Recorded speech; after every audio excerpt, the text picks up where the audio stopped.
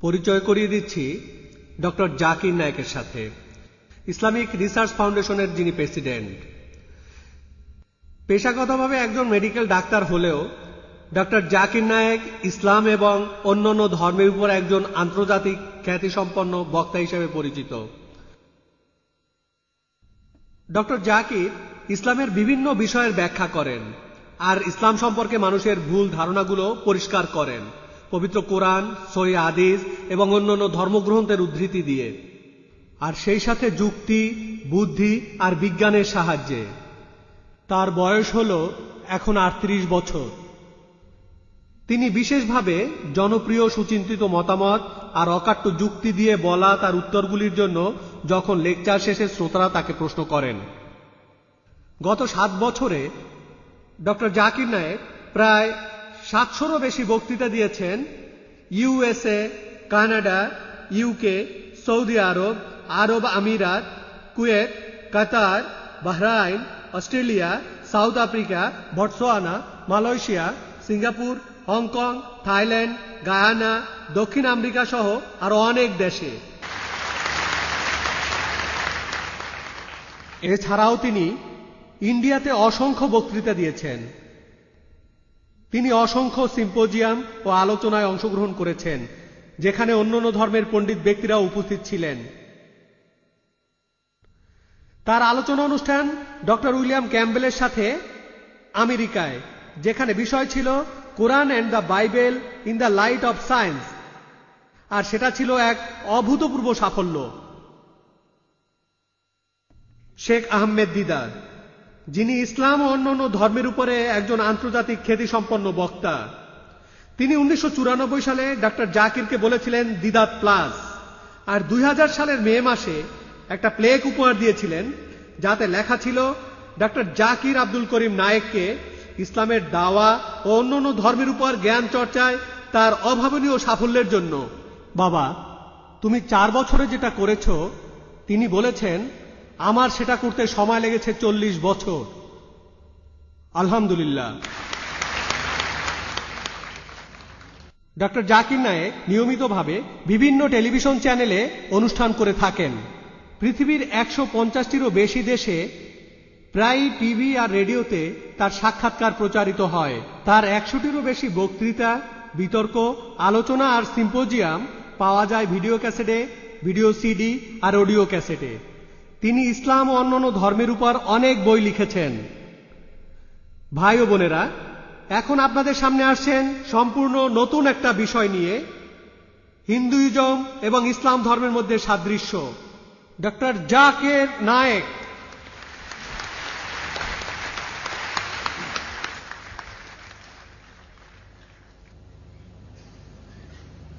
আলহামদুলিল্লাহ। ওয়াসালাম على رسول الله وعلى آل أصحابه أجمعين. أما بعد أعوذ بالله من الشيطان الرجيم. بسم الله الرحمن الرحيم. قل يا أهل الكتاب تعالوا إلى كلمة سواء بيننا وبينكم. ألا نعبد إلا الله ولا نشرك به شيئا ولا يتخذ بعضنا بعضا أربابا من دون الله. فإن تولوا فقولوا اشهدوا بأننا مسلمون. رب اشرح لي صدري ويسر لي أمري وهل عقدة من لساني ইয়াফকাহু কাওলি শ্রদ্ধেয় ভাই আব্দুর রহিম গ্রিন, ভাই জাকির আহমদ, ভাই আশরাফ মোহাম্মদী, আমার শ্রদ্ধেয় গুরুজনেরা এবং আমার ভাই বোনেরা, আমি আপনাদের সবাইকে স্বাগত জানাই ইসলামিক নিয়মে। আসসালামু আলাইকুম ও রহমতুল্লাহ বারাকাতুহু। আল্লাহ সুবান তালার দয়া, শান্তি আর অনুগ্রহ আপনাদের সবার উপর বর্ষিত হোক। আজকের এই সন্ধ্যার আলোচনার বিষয় হচ্ছে সাদৃশ্য দেখা, হিন্দু ধর্ম এবং ইসলামের মধ্যে। আমি আমার লেকচার শুরু করেছিলাম পবিত্রকরণের একটি আয়াতের উদ্ধৃতি দিয়ে। সুরা আল ইমরানের চৌষট্টি নম্বর আয়াতে উল্লেখ করা আছে। বলা হয়েছে, কুল, হে অনুসারীরা, আসমানি কিতাবের তা আলো ইলা মিতিন সওয়া ইম বানিন এসো সেই কথায় যাহা তোমাদের এবং আমাদের মধ্যে এক। প্রথম সাদৃশ্য কি? আল্লাহ আমরা আল্লাহ ব্যতীত কাহার ইবাদত করি না। ওলা নুশ্রিকা বিহি আমরা কোনো কিছুকে তাহার শরিক করি না। আল্লাহ ব্যতীত আমরা কেহ কাহা কেউ রব হিসেবে গ্রহণ করি না। যদি তাহারা মুখ ফিরাইয়া লয়। সাধু তোমরা সাক্ষী থাকো। বিয়ান্না মুসলিমুন। অবশ্যই আমরা মুসলিম আল্লাহ সুবাহতালার কাছে আমাদের নিজেদের ইচ্ছাকে সমর্পণ করি। পবিত্রকরণের এই আয়াতে যদিও বিশেষভাবে বলা হয়েছে আহলে কিতাব অর্থাৎ ইহুদি আর খ্রিস্টানেরা তবে সাধারণভাবে এটা দিয়ে বিভিন্ন গোত্রের মানুষকে বোঝানো যায়। আর আমার মতে পবিত্রকরণের এই আয়াত হচ্ছে মূল চাবিকাঠি অন্যান্য ধর্মের লোকের কাছে সত্যার বাড়ি পৌঁছে দেওয়ার। হোক তাদের বিশ্বাসের ভিত্তি এক বা আলাদা। আল্লাহ বলেছেন এসো সেই কথা যাহা তোমাদের এবং আমাদের মধ্যে এক। প্রথম সাদৃশ্য কি? আল্লাহ না উদা ইল্লাল্লাহ। আমরা আল্লাহ ছাড়া কাহারও ইবাদত করি না। বলানুশ্রিকা নুশ্রিকা ভিসাইয়াও আমরা কোনো কিছুকে তাহার শরিক করি না। যদি আপনি কোন ধর্ম সম্পর্কে জানতে চান এটা ঠিক হবে না। যদি আপনি ধর্মটা বুঝতে চান, সেই ধর্মের অনুসারীরা কোন রীতি পালন করছে সেটা দেখে। কারণ প্রায় দেখা যায় যে অনুসারীরা নিজেরাই সচেতন না তাদের নিজেদের ধর্ম আর ধর্মগ্রন্থ সম্পর্কে। কাজেই কাজেই সবচেয়ে ভালো হবে আর সবচেয়ে সঠিক উপায় কোন ধর্মকে জানার জন্য সেই ধর্মের মূল গ্রন্থ, মূল উৎস ধর্মগ্রন্থ বোঝার চেষ্টা করা। আপনি যদি হিন্দু ধর্ম সম্পর্কে জানতে চান, আপনাকে পড়তে হবে মূল উৎস, মূল পবিত্র ধর্মগ্রন্থগুলি হিন্দু ধর্মের। আর সবচেয়ে পবিত্র ধর্মগ্রন্থ হিন্দু ধর্মের হল বেদ। বেদের পরে রয়েছে উপনিষদ, তারপর ইতিহাস, রামায়ণ, মহাভারত ভগবদ গীতা তারপর পুরাণ, যেমন মনুসংহিতা, আর তাই। আমরা যদি বেদ আর অন্যান্য হিন্দু ধর্মগ্রন্থগুলি পড়ি, আমরা হিন্দু ধর্মকে বুঝতে পারব পুরোপুরি সঠিকভাবে। যদি আমরা জানতে চাই ইসলাম সম্পর্কে, সেক্ষেত্রে আমাদের পড়তে হবে ইসলামের পবিত্র ধর্মগ্রন্থ, অর্থাৎ পবিত্র কোরআন, যেটা হলো সর্বশেষ আর চূড়ান্ত আসমানি কিতাব, আল্লাহ সুবান তালার সর্বশক্তিমান স্রষ্টার। নাজিল হয়েছিল সর্বশেষ নবী হজরত মোহাম্মদ সাল্লাহ সাল্লামের উপর। আর আমরা যদি কোরআন শরীফ বুঝতে চাই, ইসলামের সাহায্যকারী গ্রন্থ হল আমাদের নবীর সুন্না নবীজির সহি হাদিস। যে কথা বলে গিয়েছেন, সর্বশেষ চূড়ান্ত নবী হজরত মোহাম্মদ সাল্লাহ সাল্লাম তাই আমরা যদি ইসলাম সম্পর্কে জানতে চাই, আমাদের পড়তে হবে পবিত্র কোরআন আর সহি হাদিস নবী মোহাম্মদ সাল্লাহ সাল্লামের হিন্দুইজম আর ইসলামের মধ্যে সাদৃশ্যগুলো আলোচনা করার আগে আসুন অর্থ বোঝার চেষ্টা করি হিন্দু ও ইসলাম শব্দ দুটোর। হিন্দু শব্দটার একটা ভৌগোলিক বিশেষত্ব রয়েছে। শব্দটা দিয়ে বোঝায় সেই মানুষদের যারা সিন্ধু নদের পাশে থাকে অথবা সেই মানুষগুলি যাদের দেশের পাশ দিয়ে বয়ে গেছে সিন্ধু নদ। আর ঐতিহাসিকরা বলেন যে এই হিন্দু শব্দটা প্রথম ব্যবহার করেছিল পার্সিয়ানরা, যারা ইন্ডিয়াতে এসেছিল হিমালয়ের উত্তর পশ্চিম দিক থেকে। আর ঐতিহাসিকরা আরও বলেন যে এই শব্দটা প্রথম ব্যবহার করেছিল আরবরা, ইন্ডিয়ানদের বোঝাতে। আর Encyclopaedia of Religion and Ethics, ছয় নম্বর খণ্ড, রেফারেন্স ছয়শো নিরানব্বই, বলা হয়েছে যে মুসলমানেরা ইন্ডিয়া শাসনের আগে হিন্দু কোনো সাহিত্যকর্মে অথবা হিন্দু কোনো ধর্মগ্রন্থে হিন্দু শব্দটা কোথাও উল্লেখ করা হয়নি। আর পণ্ডিত জওহরলাল নেহরুর মতে, তিনি তার বইতে লিখেছেন, দ্য ডিসকভারি অফ ইন্ডিয়া পৃষ্ঠা চুয়াত্তর এবং পঁচাত্তর। তিনি বলেছেন যে, হিন্দু শব্দটা প্রথম ব্যবহার পাওয়া যায় যে উৎস থেকে সেটা ব্যবহার হয়েছিল আটশো সালে, যার অর্থ তান্ত্রিক সেটা ছিল আটশো সাল। তার মানে একেবারে প্রথমবার যখন হিন্দু শব্দটা ব্যবহার হয়, সেটা ছিল আটশো খ্রিস্টাব্দ। যার অর্থ তান্ত্রিক। আর এটা ব্যবহার করা হয়েছিল একদল মানুষকে বোঝানোর জন্য। এই শব্দটা কখনোই ধর্মীয় কিছু বোঝাতে ব্যবহার হয়নি। হিন্দু শব্দটার ব্যবহার ধর্মীয় কোনো কিছু বোঝাতে অনেক পরে শুরু হয়েছিল পণ্ডিত জওহরলাল নেহরুর মতে। হিন্দুইজম শব্দটা এসেছে হিন্দু থেকে। আর শব্দটা প্রথম ব্যবহার করেছিলেন একজন ইংরেজ, ব্রিটিশরা, উনিশ শতকে। এটা বলে বোঝাতো, ইন্ডিয়ার মানুষের মধ্যে প্রচলিত ধর্মবিশ্বাস আর রীতিনীতিকে। আর নিউ এনসাইক্লোপিডিয়া ব্রিটানিকা অনুযায়ী বিশ নম্বর খণ্ড, রেফারেন্স পাঁচশো একাশি, বলা হয়েছে যে হিন্দিজম শব্দটা প্রথম ব্যবহার করেছিল ব্রিটিশ লেখকরা সালটা ছিল আঠারোশো ইন্ডিয়ার মানুষের ধর্মবিশ্বাসকে বোঝানোর জন্য। তাহলে এই হিন্দুইজম নামটা দিয়েছিলেন একজন ইংরেজ। এই কারণেই হিন্দু পণ্ডিতরা, তারা বলেন যে হিন্দুইজম শব্দটা আসলে সঠিক নয়। সঠিক শব্দটা এখানে হওয়া উচিত সনাতন ধর্ম, যার অর্থ চিরস্থায়ী ধর্ম, অথবা বলা উচিত বেদিক ধর্ম, অর্থাৎ বেদের ধর্ম। আর স্বামী বিবেকানন্দের মতে, যিনি হিন্দু ধর্মের একজন পণ্ডিত, তিনিও বলেছেন যে হিন্দুইজম শব্দটা আসলে সঠিক নয়। সঠিক শব্দটা হবে বেদান্তবাদী, বেদের অনুসারী। তাহলে সংক্ষেপে হিন্দু শব্দটার একটা ভৌগোলিক বিশেষত্ব রয়েছে। ধর্মীয় কোনো কিছু বোঝাতে এই শব্দটার ব্যবহার অনেক পরে শুরু হয়েছে। আর হিন্দুইজম শব্দটা চালু করেছিলেন একজন ইংরেজ। এই শব্দটা হিন্দু ধর্মের পুরনো গ্রন্থগুলির কোথাও ব্যবহার করা হয়নি, পরবর্তীতে করা হয়েছে। হিন্দু পণ্ডিতরা বলেন যে সঠিক শব্দটা হবে সনাতন ধর্ম, বেদিক ধর্ম বা বেদান্তবাদী, কিন্তু এই শব্দগুলিও হিন্দু ধর্মগ্রন্থে খুঁজে পাওয়া যাবে না। এবার আসুন বোঝার চেষ্টা করি। ইসলাম বলতে কি বোঝায়? ইসলাম এসেছে আরবি শব্দ সালাম থেকে, যার অর্থ শান্তি।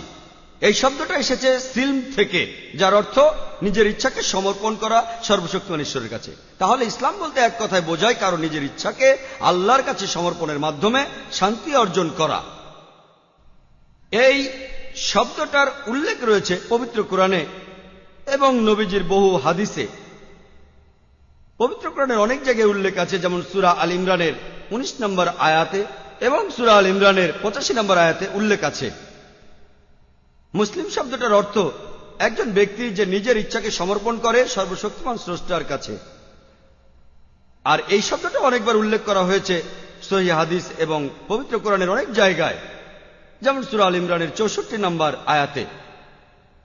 একটা ভুল ধারণা প্রচলিত আছে যে ইসলাম একটা নতুন ধর্ম, যেটার উৎপত্তি হয়েছে চোদ্দশো বছর আগে এবং মহানবী মোহাম্মদ সাল্লা সাল্লাম হলেন এটার প্রবর্তক।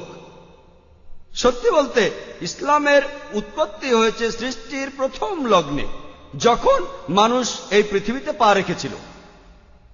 আর মহানবী মোহাম্মদ সাল্লাহ সাল্লাম ইসলাম ধর্মের প্রবর্তক নন, বরং তিনি হলেন সর্বশেষ এবং চূড়ান্ত নবী, সর্বশক্তিমান স্রষ্টা।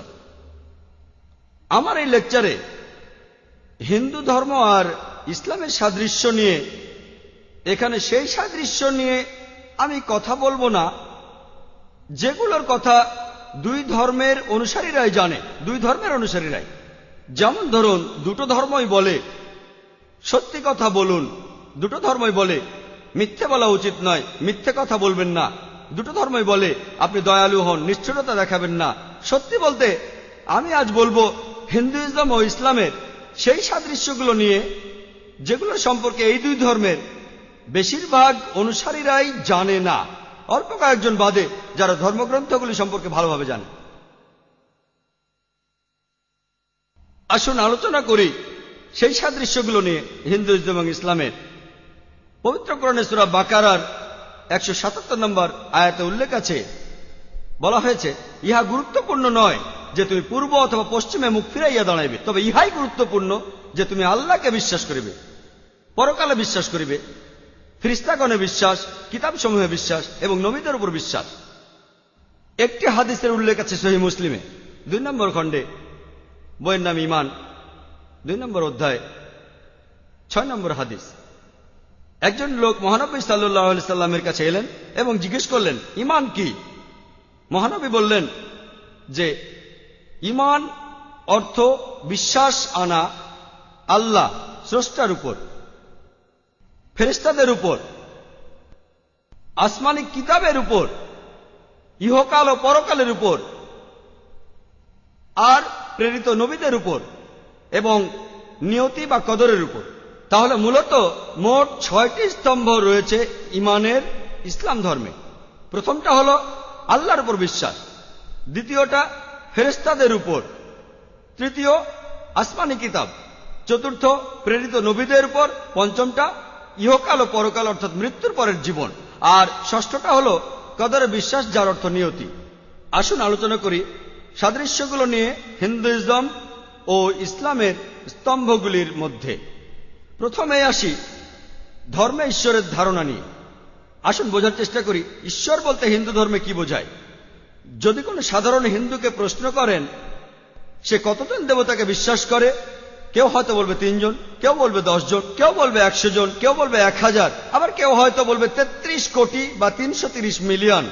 কিন্তু যদি কোনো হিন্দু পণ্ডিতকে জিজ্ঞেস করেন যা ধর্মগ্রন্থগুলো সম্পর্কে ভালো জ্ঞান আছে, তিনি আপনাদের বলবেন, হিন্দুদের বিশ্বাস আর উপাসনা করা উচিত মাত্র একজন সর্বশক্তিমান ঈশ্বরে।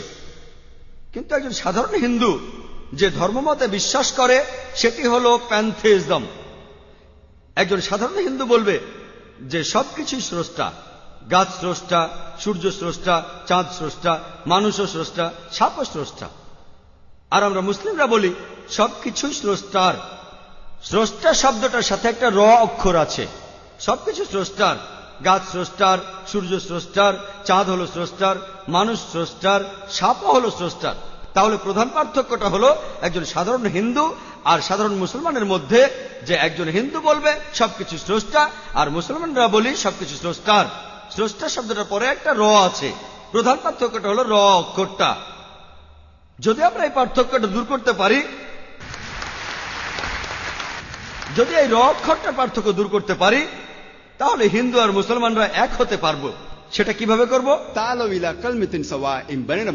এসো সেই কথা যাহা আমাদের এবং তোমাদের মধ্যে এক। প্রথম সাদৃশ্য কি? আল্লাহ না আমরা আল্লাহ ব্যতীত কাহারও ইবাদত করি না। আসুন এবার বোঝার চেষ্টা করি হিন্দু ধর্মগ্রন্থগুলি। সর্বশক্তিমান স্রষ্টা সম্পর্কে কি বলে? হিন্দু ধর্মে। হিন্দু ধর্মগ্রন্থগুলির মধ্যে একটি পবিত্র গ্রন্থ হল উপনিষদ। ছান্দকে উপনিষদে উল্লেখ করা আছে ছয় নম্বর অধ্যায় দ্বিতীয় পরিচ্ছেদের প্রথম অনুচ্ছেদে বলা হয়েছে একম এবিদিত্যম এটা একটা সংস্কৃত উদ্ধৃতি যার অর্থ স্রষ্টা মাত্র একজনই দ্বিতীয় কেউ নেই। এটার উল্লেখ আছে শ্বেতাসূত্র উপনিষদে ছয় নম্বর অধ্যায়ের নয় অনুচ্ছেদে। না চা সে কসিজ জনিতা না চদিপা তার কোনো প্রভু নেই। তার কোনো মালিক নেই। সর্বশক্তিমান স্রষ্টার কোনো বাবা মা নেই। তার কোনো মা নেই তার কোনো বাবা নেই তার চেয়ে বড় কেউ নেই। এটার উল্লেখ আছে শ্বেতাসূত্র উপনিষদের চার নম্বর অধ্যায়ের উনিশ অনুচ্ছেদে। না তস্য প্রতিমা অস্তি। যার অর্থ স্রষ্টার কোনো প্রতিকৃতি নেই। সর্বশক্তিমান স্রষ্টার কোনো প্রতিমূর্তি নেই। এছাড়া বলা হয়েছে, শ্বেতাসূত্র উপনিষদে চার নম্বর অধ্যায়ের বিশ নম্বর অনুচ্ছেদে স্রষ্টা হলেন নিরাকার। কেউ তাকে চোখ দিয়ে দেখতে পায় না, কেউ চোখ দিয়ে তার আকৃতি দেখতে পায় না। আর হিন্দু ধর্মগ্রন্থগুলির মধ্যে সবচেয়ে জনপ্রিয় হল ভগবদ গীতা। এটার উল্লেখ আছে ভগবদ গীতায় সাত নম্বর অধ্যায়ের বিশ নম্বর অনুচ্ছেদে।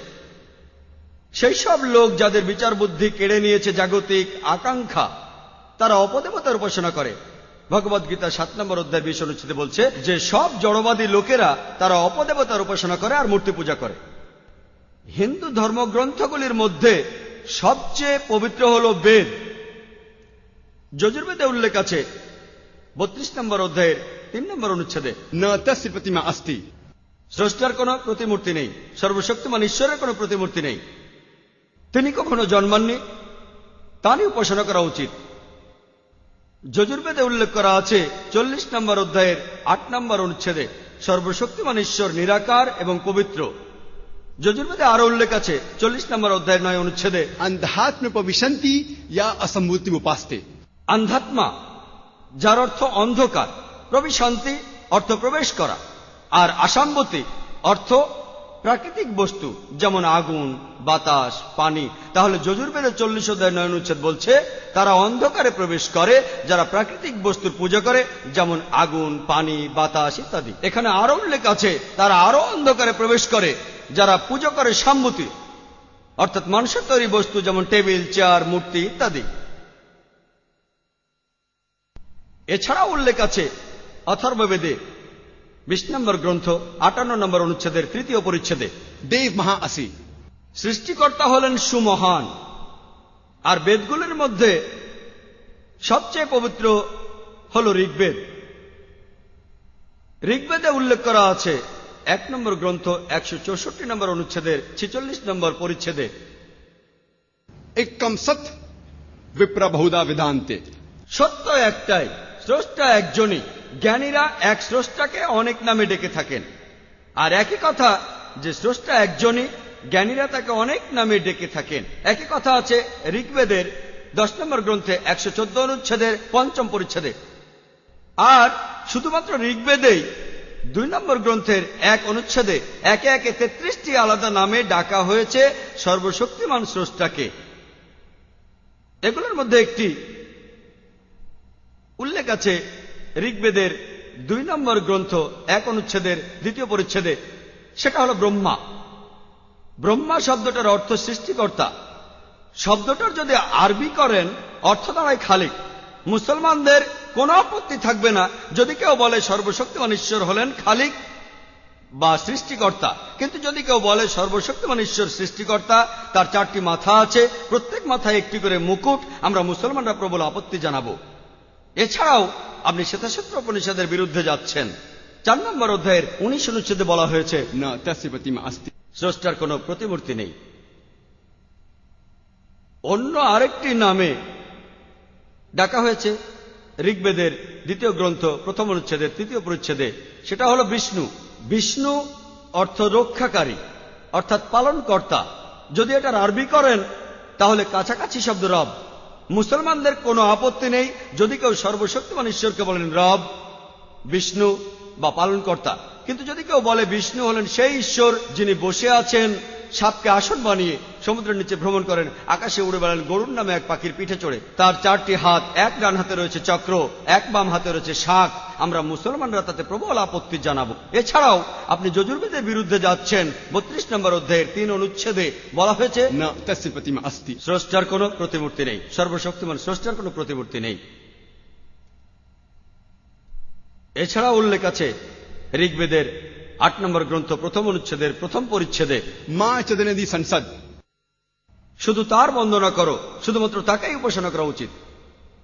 ঋগ্বেদে উল্লেখ আছে, ছয় নম্বর গ্রন্থ ৪৫ নম্বর অনুচ্ছেদের ১৬ পরিচ্ছেদে, ইয়া এক ইত মুস্তিহি শুধু তার বন্দনা করো, শুধুমাত্র তাকেই উপাসনা করা উচিত। আর ব্রহ্মসূত্র সেখানে কথা বলা হয়েছে একম ব্রাহ্ম দিউতে নাস্তে। नहना नास्ते किंचन ভগবান একই হে দুসরা নেহি হে নেহি হে নেহি হে জরা ভি নেহি হে ঈশ্বর মাত্র একজনই দ্বিতীয় কেউ নেই কেউ নেই কেউ নেই কখনো কেউ ছিলও না তাহলে আপনারা হিন্দু ধর্মগ্রন্থগুলি পড়লে হিন্দু ধর্মের ঈশ্বরকে বুঝতে পারবেন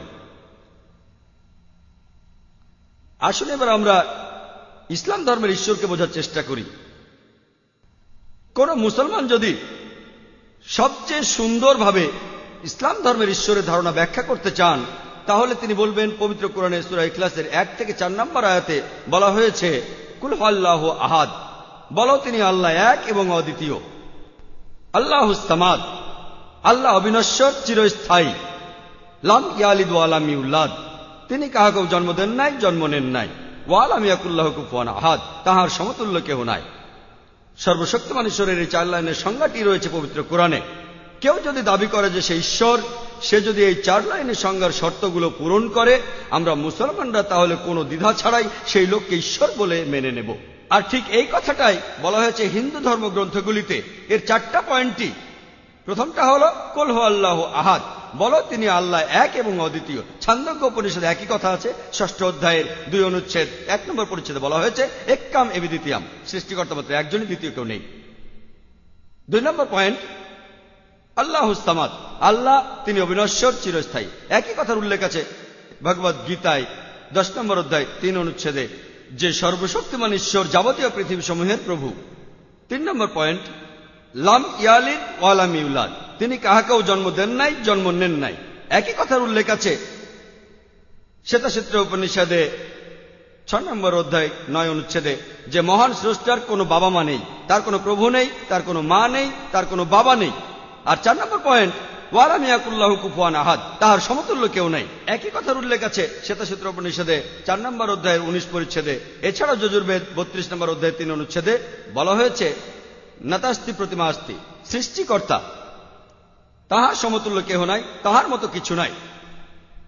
যদি কেউ বলে, যদি কেউ দাবি করে যে সে ঈশ্বর, যদি সে এই চার লাইনের সঙ্গের শর্তগুলো পূরণ করতে পারে, যেটার উল্লেখ আছে পবিত্রকরণে সুরাই ক্লাসে অথবা হিন্দু ধর্ম গ্রন্থে আমরা মুসলিমরা কোনো দ্বিধা ছাড়াই সেই লোককে ঈশ্বর বলে মেনে নেব। যেমন ধরুন, আমাদের আশেপাশে অনেক মানুষ তারা মনে করে, ভগবান রজনীশ একজন ঈশ্বর। একবার প্রশ্নোত্তর পর্বে এক হিন্দু ভাই আমাকে বলেছিলেন, আমরা হিন্দুরা তাকে ঈশ্বর হিসেবে মানি না। আমি জানি, আমি কখনোই বলিনি হিন্দুরা তাকে ঈশ্বর বলে মানে। আমি বলেছি কিছু লোক তাকে ঈশ্বর বলে মানে। আমি হিন্দু ধর্মগ্রন্থ পড়েছি, কোথাও লেখা নেই রজনীশ একজন ঈশ্বর, কিন্তু অনেক লোকে আছে যারা ভগবান রজনীশকে ঈশ্বর বলে মানে। আসুন ভগবান রজনীশকে সুরা ইখলাস আর হিন্দু ধর্মগ্রন্থের অনুচ্ছেদগুলো দিয়ে পরীক্ষা করে দেখি। এক নম্বর হল কুলহ আল্লাহ আহাদ। বলো তিনি আল্লাহ এক, অদ্বিতীয়। এক কামে দ্বিতীয়াম সৃষ্টিকর্তা একজনই, দ্বিতীয় কেউ নেই। ভগবান রজনীশ কি এক, অদ্বিতীয়? সেই কি একমাত্র মানুষ যে নিজেকে ঈশ্বর দাবি করেছে? পৃথিবীর হাজার হাজার মানুষ নিজেকে ঈশ্বর দাবি করেছে, বিশেষ করে ইন্ডিয়ায়। হাজার মানুষ নিজেকে ঈশ্বর দাবি করেছে, রজনীশই একমাত্র নয়। কিন্তু রজনীশের ভক্তরা বলবে, সে আসলেই আলাদা, আসলেই অদ্বিতীয়। তাহলে পরের পরীক্ষাটা করি। আল্লাহ হুস্তামাদ আল্লাহ, তিনি অবিনশ্বর ও চিরস্থায়ী। রজনীশ কি অবিনশ্বর আর চিরস্থায়ী? রজনীশের আত্মজীবনী পড়লে দেখতে পাবেন, রজনীশ ডায়াবেটিসে ভুগতেন। অ্যাজমা ছিল, পিঠে ব্যথা ছিল। চিন্তা করেন, ঈশ্বর অ্যাজমায় ভোগেন, তার পিঠে ব্যথা থাকে, ডায়াবেটিস আছে। তিন নম্বর পয়েন্ট, তিন নম্বর পয়েন্ট, লাম ইয়ালিক ওয়ালাম ইউলাদ। তিনি কাউকে জন্ম দেননি, জন্ম নেননি। আমরা জানি যে রজনীশ মধ্যপ্রদেশে জন্মেছিলেন, তার বাবা ছিল, মাও ছিল। উনিশশো একাশি সালে তিনি আমেরিকায় যান সেখানে অরিগান প্রদেশে তিনি তার নিজের শহর বানান, যার নাম রজনীশপুরাম তার হাজার হাজার ভক্ত সেখানে তৈরি হয়। পরবর্তীতে আমেরিকার সরকার তাকে অ্যারেস্ট করে, তারপর তাকে জেলখানে আটকে রাখে। রজনীশ বলেন যে আমেরিকার সরকার জেলখানার ভেতরে তাকে স্লো পয়জনিং করেছিল। চিন্তা করে সর্বশক্তিমান ঈশ্বরকে স্লো পয়জনিং করা হয়। আর উনিশশো পঁচাশি সালে আমেরিকার সরকার আমেরিকা থেকে তাকে বের করে দেয়। রজনীশ ইন্ডিয়ায় ফিরে আসেন, তারপর তিনি পুনা শহরে তার নিজের আশ্রম বানান, যেটাকে বর্তমানে বলা হয় দি ওশো কমিউন। আর আপনি যদি ওশো কমিউনে যান, তার সমাধিস্তম্ভের উপর লেখা আছে, ভগবান রজনীশ, ওশো রজনীশ, কখনো জন্মাননি, কখনো মরেননি, তবে পৃথিবীতে ভ্রমণ করেছেন এগারোই ডিসেম্বর উনিশশো একত্রিশ সাল থেকে উনিশে জানুয়ারি উনিশশো নব্বই সাল পর্যন্ত। কখনো জন্মাননি, কখনো মরেননি। তবে পৃথিবী ভ্রমণ করেছেন এগারো ডিসেম্বর উনিশশো একত্রিশ সাল থেকে উনিশে জানুয়ারি উনিশশো নব্বই সাল পর্যন্ত। তার সমাধির উপর কথা লিখতে ভুলে গেছে যে পৃথিবীর একুশটা দেশ তাকে ভিসা দিতে কোনোভাবেই রাজি হয়নি। চিন্তা করেন, মহান ঈশ্বর পৃথিবীতে আসলেন, পৃথিবী ভ্রমণ করলেন, আর বিভিন্ন দেশে যেতে তার ভিসার প্রয়োজন হয়। তখন গ্রিসের আর্থ বিশপ বলেছিলেন, যদি রজনীশকে এই দেশ থেকে বের করে দেওয়া না হয়, তাহলে আমরা তার ঘর পুড়িয়ে দেবো, তার শিষ্যদের ঘরে পোড়াবো। আর একদম শেষ পয়েন্ট আহাদ। তাহার সমতুল্য কেহ নাই। পরীক্ষাটা এতই কঠিন যে সত্যিকারের ঈশ্বর ছাড়া অন্য কেউ এই পরীক্ষায় পাশ করতে পারবে না। যখনই ঈশ্বরকে পৃথিবীর কোনো কিছুর সাথে তুলনা করবেন সেটা হলো ঈশ্বর নয়। আমরা জানি যে রজনীশের সাদা দাড়ি ছিল, তার দুটো চোখ, একটা নাক, একটা মাথা, দুটো হাত, অন্য সব মানুষের মতোই। যখন ঈশ্বরকে পৃথিবীর কোনো কিছুর সাথে তুলনা করবেন সেটা হলো ঈশ্বর নয়। ওয়ালামিয়াকুল্লাহ কুফুয়ান আহাদ। যেমন ধরেন যদি কেউ বলে, সর্বশক্তিমান ঈশ্বর, তিনি হাজার গুণ বেশি শক্তিশালী আর্নল্ড সোয়াজনেগার চেয়ে। আপনারা হয়তো তার নাম শুনে থাকবেন। তার এক সময় টাইটেল ছিল মিস্টার ইউনিভার্স, পৃথিবীর সবচেয়ে শক্তিশালী মানুষ। যদি কেউ বলে, সর্বশক্তিমান স্রষ্টা সোয়াজনেগার চেয়ে হাজার গুণ শক্তিশালী, যখন ঈশ্বরকে কারও সাথে তুলনা করবেন, হোক সেটা হাজার গুণ বা লক্ষ গুণ, হোক সেটা আর্নল্ড সোয়াজনিগার দারা সিং বা কিং কং যখন ঈশ্বরকে আপনি কোনো কিছুর সাথে তুলনা করবেন, সে তাহলে ঈশ্বর নয়। ওয়াল আমি আকুল্লাহ কুফান আহাদ, তাহার সমতুল্য কেহ নাই। এটা হলো সর্বশক্তিমান ঈশ্বরের চার লাইনের সংজ্ঞা। এটাই বলা আছে পবিত্র কোরআনে, যেটাকে আমরা বলি ধর্মবিশ্বাসের কোষ্ঠী পাথর। তাহলে সব দেবতা যাদেরকে বিভিন্ন মানুষ উপাসনা করে, তাদেরকে সুরাই ক্লাসের পরীক্ষায় ফেলুন। যদি সেই দেবতা সুরাই ক্লাসের পরীক্ষায় পাশ করে, হিন্দু ধর্মগ্রন্থের সাথে মিলে যায় তাহলে সে আসলে ঈশ্বর। আর ফেল করলে সে সত্যিকার ঈশ্বর নয়। আর আল্লাহ সুবান তাআলা কোরআনে বলেছেন সুরা ইসরার একশো দশ নম্বর আয়াতে উল্লেখ করা আছে আল্লাহ বলছেন কলিদুল্লাহ আবিদুর রহমান ফালাল আসমাউল হোসনা। তোমরা আল্লাহর নামে আহ্বান করো অথবা রহমান। যে নামে আহ্বান করো না কেন সকল সুন্দর নাম সেগুলো তো তাহারই।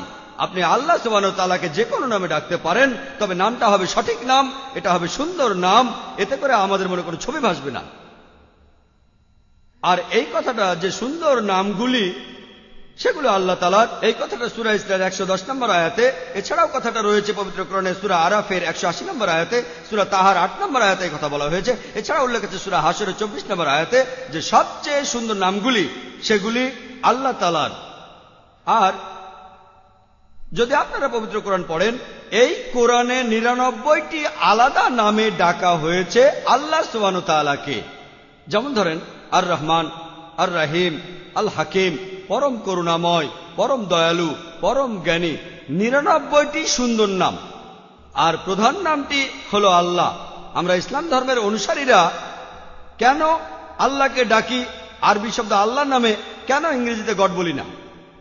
কারণ ইংরেজি গড শব্দটাকে দিয়ে অনেক শব্দই বানানো যায়, যেটা আরবি শব্দ আল্লাহ দিয়ে সম্ভব না।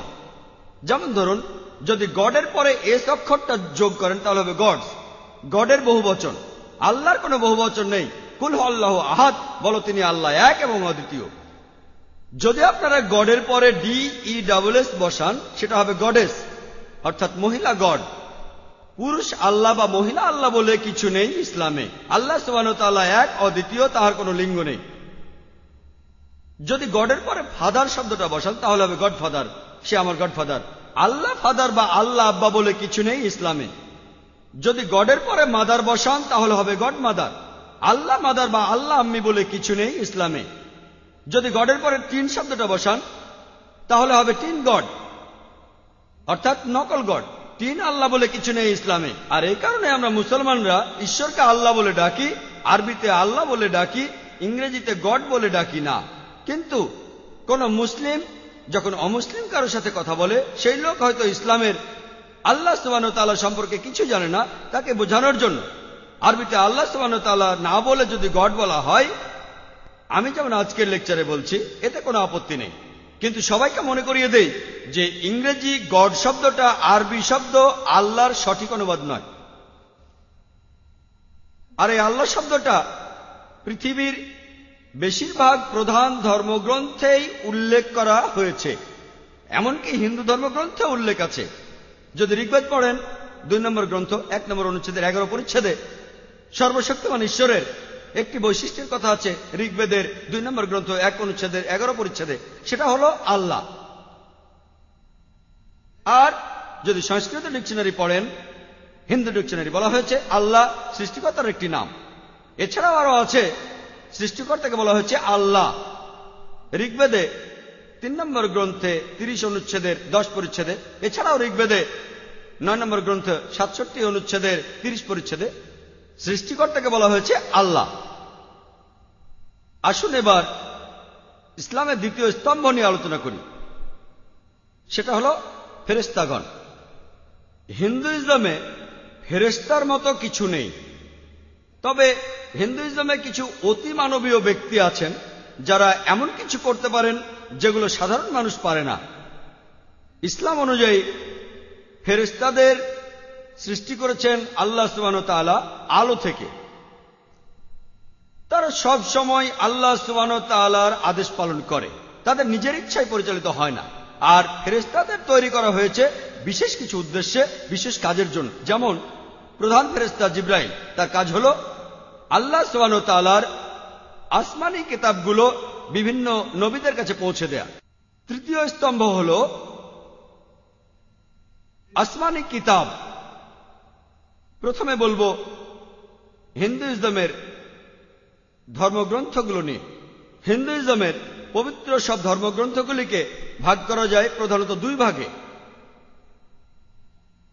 একটা হল শ্রুতি, অন্যটা স্মৃতি। শ্রুতি অর্থ সেটা যা বোঝা গেছে, যা শোনা গেছে, যা স্পষ্ট হয়েছে, প্রকাশিত হয়েছে। আর এই শ্রুতিগুলোকে বলা হয়ে থাকে ঈশ্বরের বাণী। এই কথাগুলো একেবারে স্বর্গীয়। এখানে দুটো ভাগ রয়েছে, বেদ আর উপনিষদ। বেদ শব্দটা এসেছে সংস্কৃত শব্দ ভিদ থেকে, যার অর্থ জ্ঞান। আর বেদ অর্থ সবচেয়ে শ্রেষ্ঠ জ্ঞান। আবার বেদ চার প্রকারের আছে। ঋগ্বেদ, যজুর্বেদ, সামবেদ আর অথর্ববেদ। সঠিক কবে এই বেদগুলো মানুষের কাছে এসেছে, সেটা জানা যায় না। ঠিক কবে বেদ এসেছে সেটা জানা যায় না, পণ্ডিতরাও একমত না। স্বামী দয়ানন্দ সরস্বতীর মতামত অনুযায়ী যিনি আর্য সমাজের প্রতিষ্ঠাতা, তিনি বলেছেন যে এই বেদগুলো পৃথিবীতে এসেছে একশো একত্রিশ কোটি বছরের আগে। তবে বেশিরভাগ পণ্ডিতরাই, আর হিন্দু পণ্ডিতদেরও বেশিরভাগই, তারা বলেন বেদ আনুমানিকভাবে চার হাজার বছরের পুরনো। ঠিক কার কাছে বেদ প্রথম এসেছিল সেটাও আমরা জানি না। কোন দেশে প্রথম বেদ এসেছিল সেটাও আমরা জানি না। কোন ঋষি প্রথম এটা লিখেছিল বা কার উপর নাজিল হয়েছিল সেটাও জানি না। এসব কিছু ব্যাপারে একমত না হলেও হিন্দুরা বিশ্বাস করে যে এই বেদ ঈশ্বরের বাণী আর এটাই সবচেয়ে পবিত্র সব হিন্দু ধর্মগ্রন্থের মধ্যে। এরপরে গুরুত্বপূর্ণ হল উপনিষদ। প্রায় দুইশোরও বেশি উপনিষদ রয়েছে। ইন্ডিয়ানরা বলে উপনিষদের সংখ্যা একশো আটটি। আর এগুলোর মধ্যে প্রধান হল, কেউ বলে আটটি, কেউ বলে বারোটি। আর রাধাকৃষ্ণন আঠারোটি উপনিষদকে বলেছেন প্রধান উপনিষদ। তার বইতেও লিখেছেন। আর অন্য ধরনের পবিত্র গ্রন্থগুলো, এগুলো হলো স্মৃতি। স্মৃতি অর্থ যেটা স্মরণ করা যায়, অর্থাৎ মেমোরি। আর স্মৃতি, এগুলো শ্রুতির চাইতে কিছুটা কম পবিত্র। এই স্মৃতিগুলো ঈশ্বরের কাছ থেকে আসেনি, এগুলো মহান স্রষ্টার বাণী নয়। এগুলো লিখেছেন মানুষরাই। এখানে লেখা আছে বিভিন্ন নিয়ম কানুন যে একজন মানুষ কীভাবে জীবন ধারণ করবে, এগুলোকে বলা হয় ধর্মশাস্ত্র। স্মৃতিগুলোর মধ্যে রয়েছে ইতিহাস। সেই অসাধারণ মহাকাব্য দুটির কথা বেশিরভাগ ইন্ডিয়ানি জানেন। একটা হলো রামায়ণ, যেটাতে শ্রীরামচন্দ্রের গল্প রয়েছে, এটাও বেশিরভাগ ইন্ডিয়ানি জানেন। অন্যটা হলো মহাভারত। যেখানে গল্পটা হচ্ছে সিংহাসন নিয়ে জ্ঞাতি ভাইদের মধ্যে যুদ্ধ, অর্থাৎ পাণ্ডব আর কৌরব।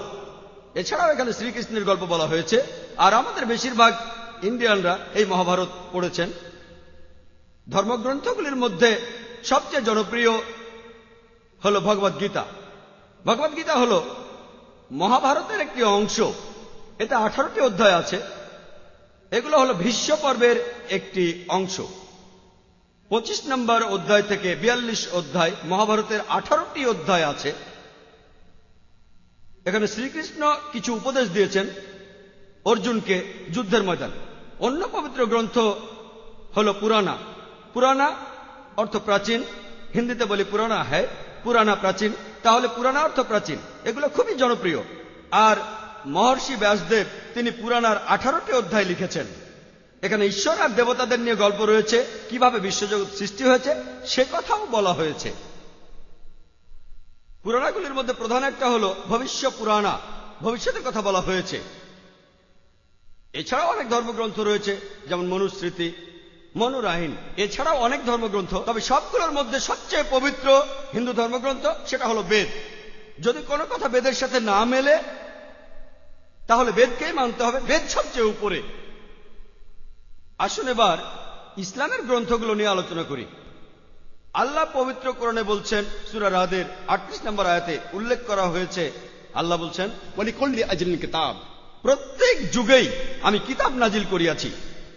মহান স্রষ্টা অনেকগুলো কিতাব পাঠিয়েছেন কিন্তু সর্বশেষ আর চূড়ান্ত আসমানি কিতাব হল পবিত্র কোরআন যেটা নাজিল হয়েছিল সর্বশেষ আর চূড়ান্ত নবী হজরত মোহাম্মদ সাল্লাহ সাল্লামের উপর।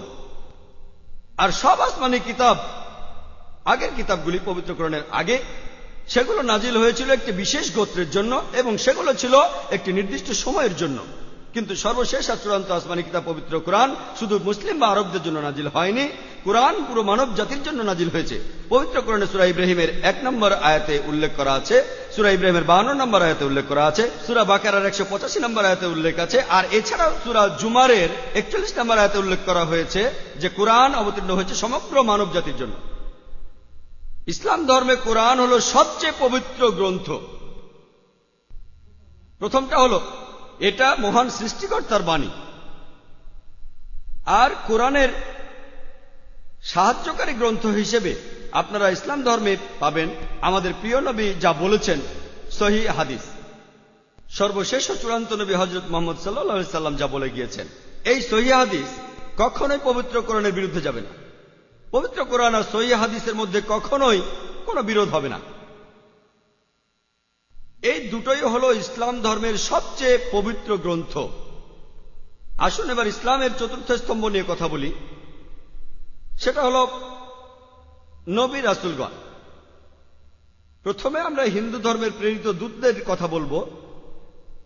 সাধারণ হিন্দুরা তারা অবতারবাদে বিশ্বাস করে।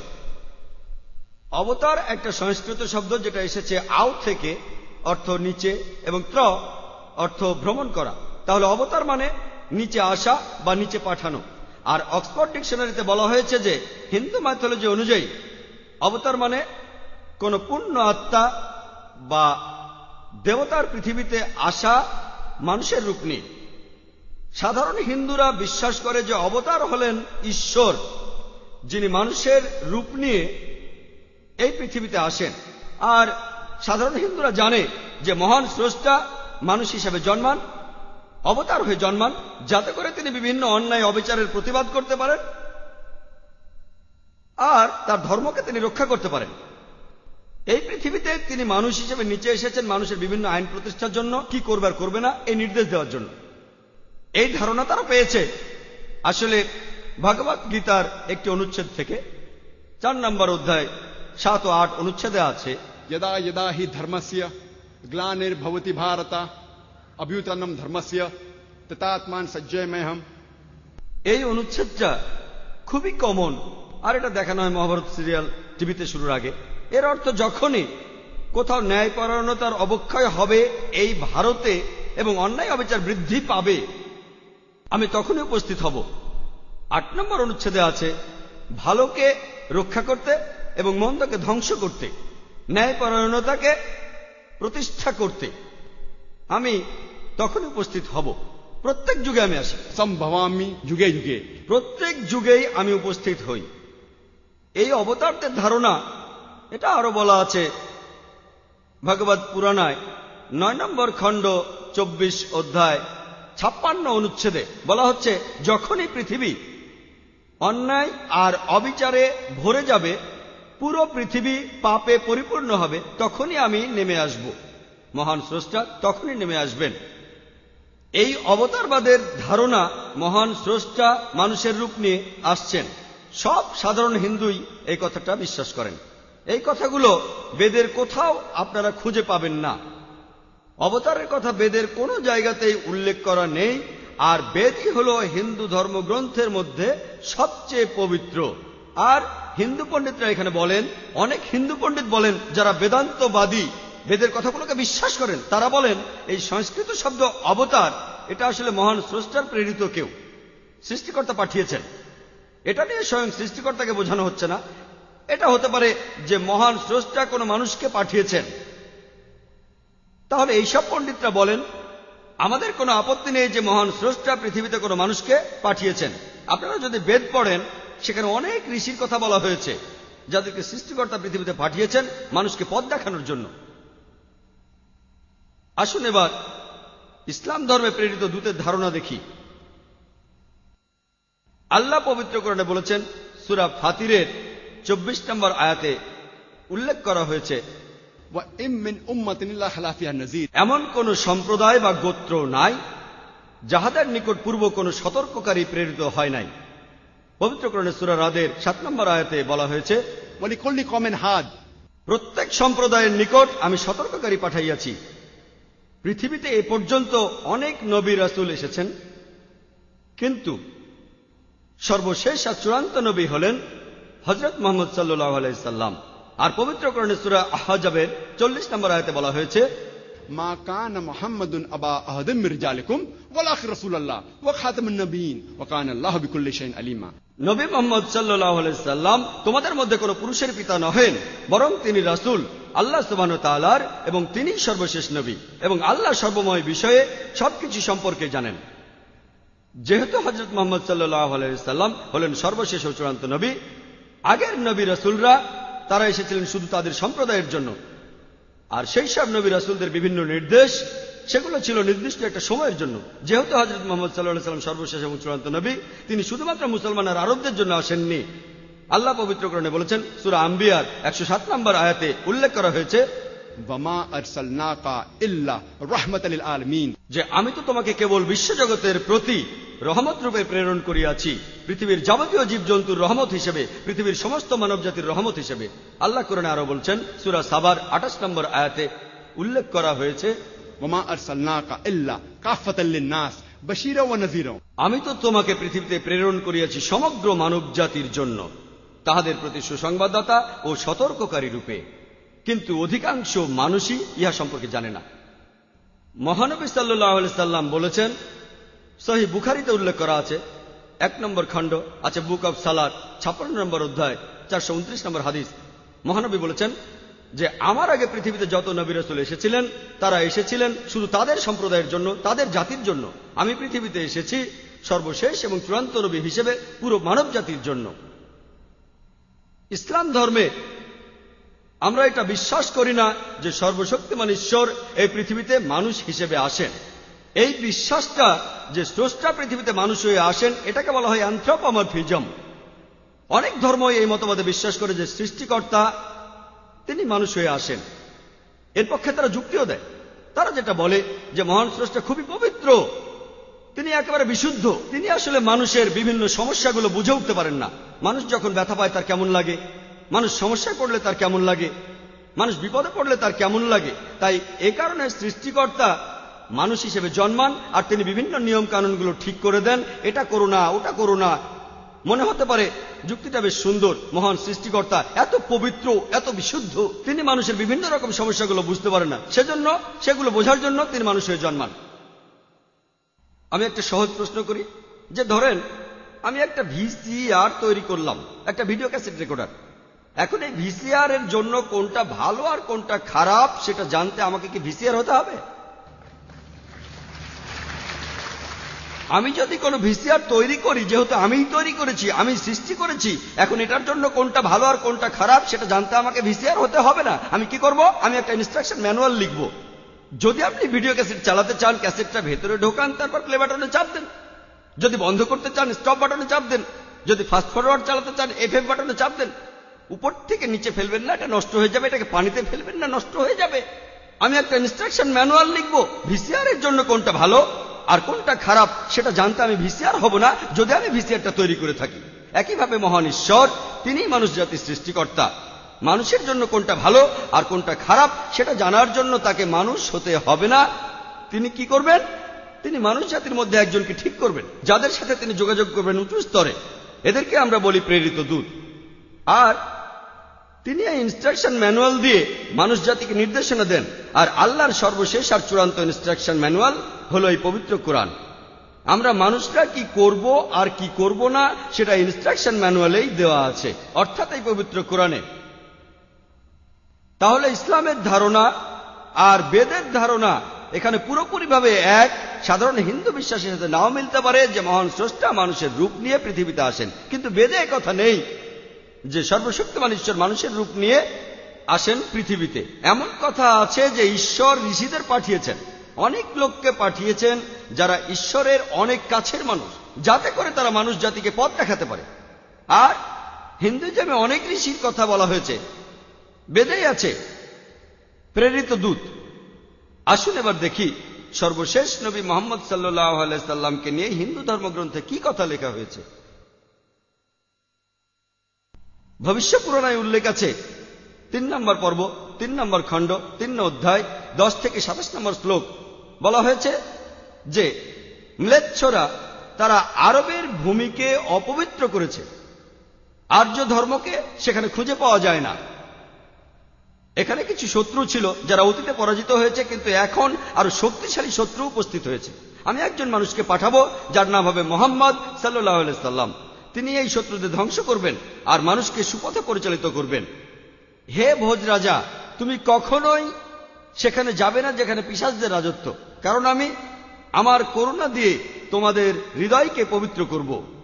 তখন দেবদূতের মতো একজন মানুষ তিনি রাজার সামনে আসলেন আর বললেন, হে রাজা, আমাকে এখানে পাঠিয়েছেন ঈশ্বর পরমাত্মা। আর্য ধর্ম পৃথিবীতে বিরাজ করবে। যে ধর্মটা সত্য, দিনুল হক, সেটা পৃথিবীতে বজায় থাকবে। আমাকে এখানে পাঠিয়েছেন ঈশ্বর পরমাত্মা, যাতে মাংসভোজীদের বিশ্বাসকে প্রতিষ্ঠা করা যায়। আমার অনুসারীরা হবে সেই লোকেরা যারা শূন্যতে খাতনা করবে। আর তাদের মাথার উপরে কোনো টিকি থাকবে না। তারা একটা বিপ্লব তৈরি করবে। তারা মুখে দাড়ি রাখবে। তারা প্রার্থনার জন্য আহ্বান করবে। বিধিসম্মত সব খাবারই খাবে, তবে তারা শুকরের মাংস খাবে না। তারা লতা লতাগুলমের মাধ্যমে পবিত্র হবে না, বরং যুদ্ধ বিগ্রহের মাধ্যমে পবিত্র। তাদেরকে বলা হবে মুসলমান, আর তারা হবে মাংসভোজী। এই ভবিষ্যৎবাণী যে একজন ঋষি আসবেন, আর সেই ঋষির নাম উল্লেখ করা হয়েছে মোহাম্মদ সাল্লাহ আলাইসাল্লাম আর বলা আছে, তিনি মানুষ জাতিকে সঠিক পথে পরিচালিত করবেন। আমরা জানি মোহাম্মদ সাল্লাহ সাল্লাম আরবদের পথ দেখিয়েছেন। সে সময়কে বলা হয়তো আয়ামে জাহেলিয়া, অর্থাৎ বিশৃঙ্খলার যুগ। তিনি তাদের আলোসন্ধান দিয়েছেন। আর বলা হয়েছে তার অনুসারীদের খতনা করা থাকবে। মুসলমানরা খতনা দেয়। তাদের মাথায় কোনো টিকি থাকবে না। মাথার পেছনে কোনো লেজ থাকবে না। মুসলমানদেরও থাকে না। তাদের মুখে দাড়ি থাকবে। মুসলমানরাও দাড়ি রাখে। তারা একটা বিপ্লব ঘটাবে। তারা প্রার্থনার জন্য আহ্বান করবে, আর সেটা হলো আজান। আমরা মুসলিমরা আজান দেই, নামাজের জন্য আহ্বান করি। তারা সব বিধিসম্মত খাবার খাবে, কিন্তু শুকরের মাংস তারা ছোবে না। আমরা মুসলিমরা শুকরের মাংস খাই না। তারা লতাগুলমের মাধ্যমে পবিত্র হবে না, তারা পবিত্র হবে যুদ্ধ বিগ্রহের মাধ্যমে। আর পবিত্রকরণে আমাদেরকে বলা হয়েছে, সত্যের জন্য যুদ্ধ করব, অন্যায় অবিচারের বিরুদ্ধে। তাদেরকে বলা হবে মুসলমান, তারা হবে মাংসভোজী। ভবিষ্য পুরাণের এই ভবিষ্যৎবাণী একেবারে পরিষ্কারভাবে সর্বশেষ ও চূড়ান্ত নবী মোহাম্মদ সাল্লা সাল্লাম এবং তার অনুসারীদের কথা বলছে। মোহাম্মদ সাল্লাহ সাল্লামের নাম বিভিন্ন জায়গায় অনেকবার বলা হয়েছে, হাতে সময় নেই, সেজন্য ভবিষ্য পুরাণা থেকে কয়েকটা উদাহরণ দিচ্ছি। এই ভবিষ্যৎবাণী করা হয়েছে ভবিষ্য পুরাণার তৃতীয় পর্ব, তৃতীয় খণ্ড, তৃতীয় অধ্যায়ের পাঁচ থেকে আট শ্লোকে। এছাড়া বলা আছে ভবিষ্য পুরাণার তৃতীয় পর্বে প্রথম খণ্ড, তৃতীয় অধ্যায়ের একুশ থেকে তেইশ নম্বর শ্লোকে। সর্বশেষ আর চূড়ান্ত নবী মোহাম্মদ সাল্লাহ সাল্লামের কথা উল্লেখ করা হয়েছে অথার্ব বেদে। বিশ নম্বর গ্রন্থে, একশো সাতাশ নম্বর অধ্যায়ের এক থেকে চোদ্দ নম্বর মন্ত্রে এগুলোকে আরও বলা হয় কুন্টুব সুক্তাস। কুন্টুব সংস্কৃত শব্দ, অর্থাৎ পেটের একটা লুকানো গ্রন্থি।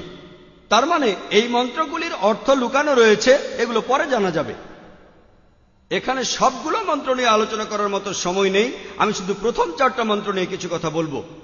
এক নম্বর মন্ত্র বলছে, তিনি হলেন নরসংসা, তিনি হলেন কাউরামা তিনি পরাজিত করবেন ষাট হাজার নব্বই জন শত্রুকে।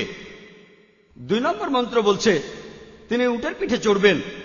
তিন নম্বর মন্ত্র বলছে, তিনি হলেন মামা ঋষি চার নম্বর মন্ত্রে তাকে আরও বলা হচ্ছে রেব। এক নম্বর মন্ত্র বলছে, তিনি হলেন নরসংসা। নরসংসা শব্দটা এসেছে নর থেকে, অর্থাৎ কোনো ব্যক্তি বা একজন লোক।